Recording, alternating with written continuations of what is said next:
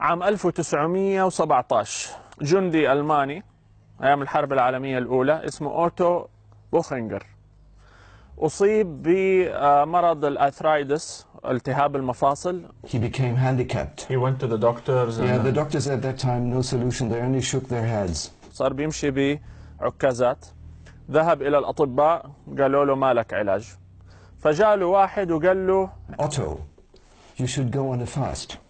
قم بالصوم He said, What? فصام صام لمدة 19 يوم وسبحان الله في اليوم ال 19 He had kind of a miracle. All of a sudden, he could move all his joints, which was remarkable because he went through pains. All of a sudden, everything was gone. ومن ذلك اليوم كرس حياته لافتتاح مركز متخصص في therapeutic fasting الصوم العلاجي افتتح المركز عام 1920 صار له الآن 94 عام شغال المركز وسبحان الله توارثته الأجيال الجد اللي هو صاحب التجربة الشخصية في الصوم وبعدين استلم المركز ولده واليوم مستلمه الحفيد From that on, my, my grandfather was um, no more, never sick again, which is a miracle. For us, the Islamic fast, we don't eat or drink. We break the fast, and we can eat until the next uh, The sun- sun, sunrise. sunrise, basically. When you can differ a white from the black thread. ما شاء الله عليك الخيط الأبيض من الخيط الأسود من الفجر يس عندهم صيام خاص فيهم مختلف عن الصيام الإسلامي ولكن الحكمة واحدة وإن اختلفت الشريعة هم عندهم الشرب مستمر ولكن امتناع عن الأكل لفترة محددة من الوقت وتقليل الغذاء اللي داخل بشكل عام وأنه يكون في نظام معين آلية معينة لل- لل- للتوقف عن الأكل آلية معينة للعودة للأكل If you exceed too much with carbohydrates, you have the, the counteract all the beautiful results you achieved by fasting. you counteract it. Yes.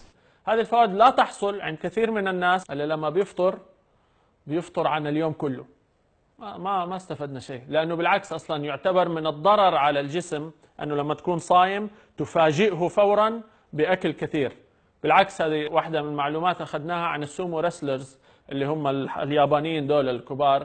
واحدة من الأساليب اللي بيستخدموها علشان يزيد وزنهم بسرعة إنهم يصوموا بعدين يفاجئوا الجسم بوجبات ثقيلة. فهذا يؤدي إلى تسارع معدل زيادة الأوزان في الجسم. ولذلك في رمضان عندنا الأوزان بتزيد. The few dates allowed by the Prophet are not the problem, but what comes after. سبحان الله. كلام جميل. والله انت كلامك جميل. you're, you're speaking good stuff. قال the problem is not in the prophet's dates. المشكلة ليست في التمر الذي كان يأكله صلى الله عليه وسلم. المشكلة ما يحصل ولا ما نأكله بعد التمر. لذلك المظهر الرائع اللي نراه في المسجد النبوي والمسجد المكي موائد الإفطار اللي هي على حبات من التمر واللبن هذا هو الإفطار الصحي لأنه جسمك صار له فترة ما أكل فيتدرج. جزء من منظومة الصوم كيف تفطر؟ كل أنواع الشوربة. إحنا عندنا بعض الناس عندهم مثلا عاده شوربة طماطم شوربة العدس في رمضان. هذا شيء يعتبر جيد. اللي عندهم هذه العادة يستمروا فيها. الشوربة تعتبر أكل خفيف على المعدة ووسيله جيدة للإفطار وكسر ال- الصوم. Auch see, also you can see small flower from a tomato. Let's be this salad delicious for the eyes first. We are eating too much wrong food and we don't move enough. You not see any bird, any rabbit, any wild living animal overweight. Wild living animals are not overweight. Why? The, di- the distance to eat and run is okay. The balance. Balance. The balance is, is in order and the balance in, in a fast food restaurant is not, is not, no not a- balance. but- الصوم وفوائده الرائعة الواضحة الجلية على الجسم للناس اللي يصوموا صح؟ باتباع السنة النبوية الصحيحة في الصيام. أول شيء أنه الدم يقوم بالتخلص من الكوليسترول. الرئة تقوم بإطلاق السموم اللي حولها وتنظف نفسها. المعدة والأمعاء تقوم بتنظيف نفسها.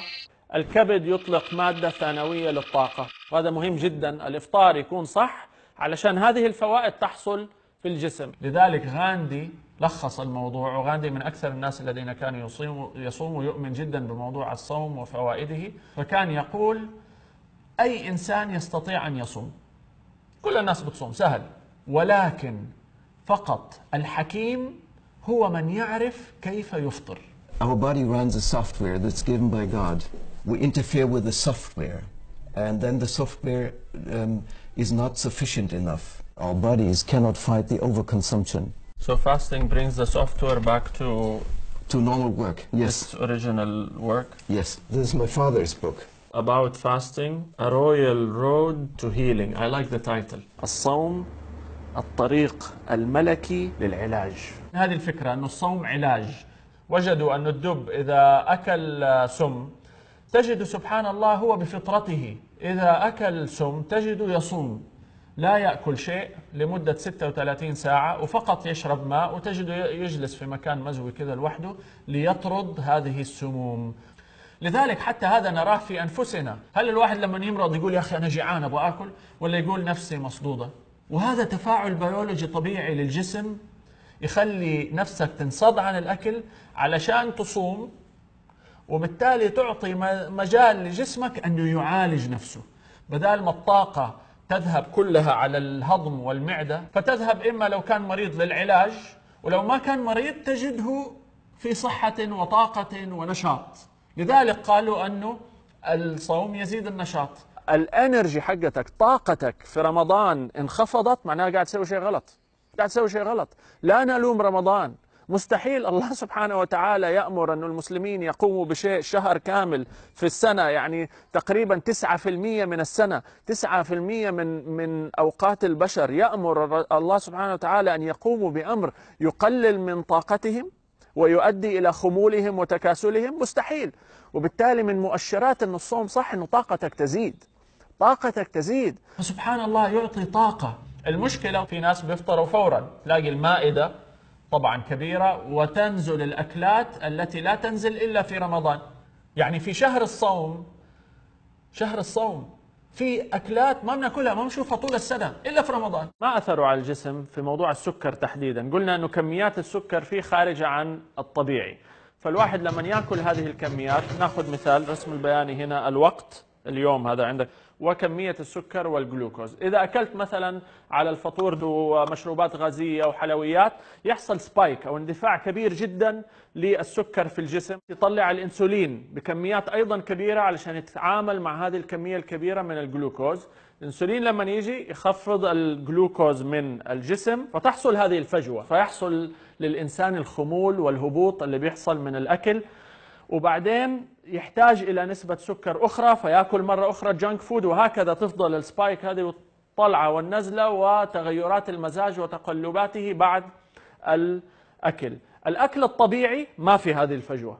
يكون في تناغم بين كميات السكر والإنسولين. من أهم مؤشرات أنه الأكل حقك صحي ولا غير صحي تشوف هل بيحصل لك خمول ولا لا بعد الأكل. الحديث المعروف النبوي اللي هو ثلث لطعامه وثلث لشرابه ننسى أوله، إيش أول الحديث؟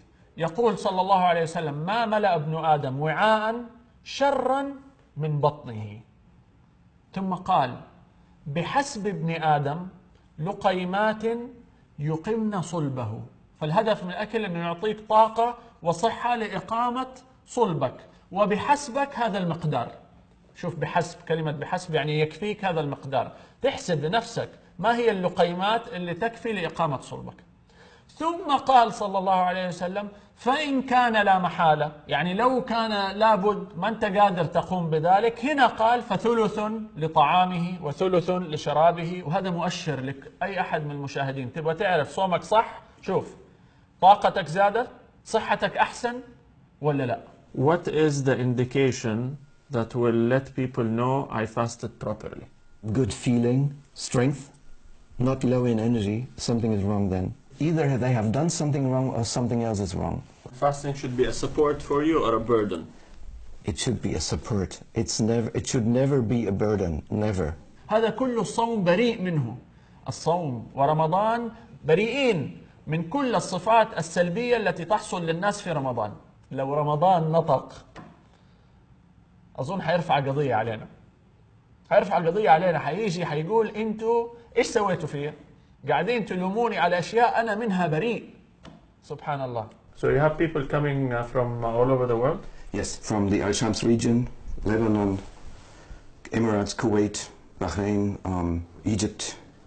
We had a customer, a client from Pakistan also.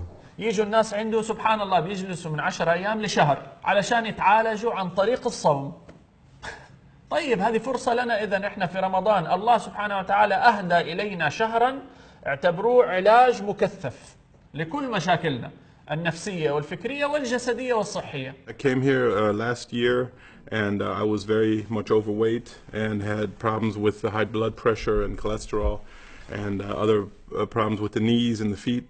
أوريكم الآن صورة قبل وبعد لأنتون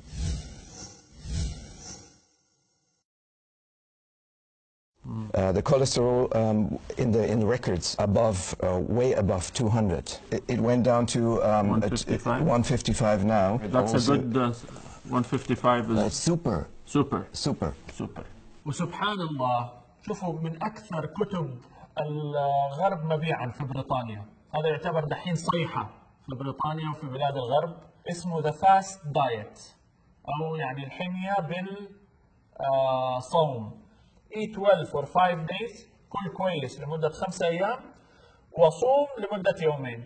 قلل ال calories حقتك لمدة يومين. يعني هو إيش؟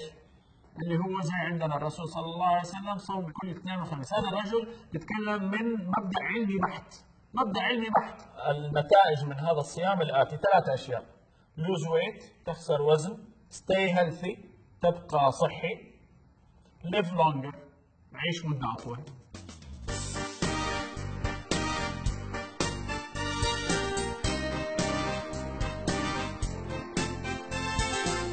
So it's okay to exercise while yes, fasting. it- it- no problem. We have scientific proof that the the endurance during fasting is even better. الجسم آه، قوة تحمله بتزيد مع الصوم وانه الضعف اللي يحصل للناس ممكن يحصل أول ثلاثة أيام لأنه في تغيير في الهابتس حقت الأكل، أنت متعود طول السنة تاكل بطريقة معينة، أول ثلاثة أيام اللي متعود على القهوة حيبطلها، اللي متعود على أشياء معينة فيمكن تحصل خلل ولكن بعد ثلاثة أربع أيام خلاص الصوم بالعكس يعطيك قوة. It gives you strength. Yes.